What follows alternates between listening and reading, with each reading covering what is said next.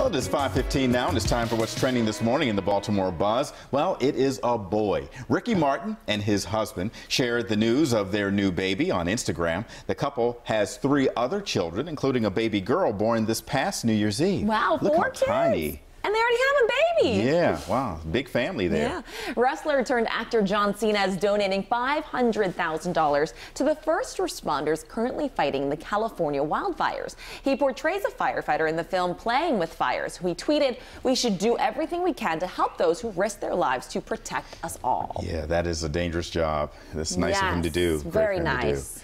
All right. HBO Max streaming service will launch in May for $15 a month. The service will offer movies and programs from HBO and the Time Warner Library. Now, it will include Friends, which is leaving Netflix, The Big Bang Theory, which is off now of CBS, and South Park, which has left Comedy Central, just to name a few. We Now, can't of keep track of who's I streaming which show. Of those three, at a, a favorite, Friends, South Park, Big Bang Theory? Nah, none of them. None of them? None of them. Big Bang was mine. I liked it.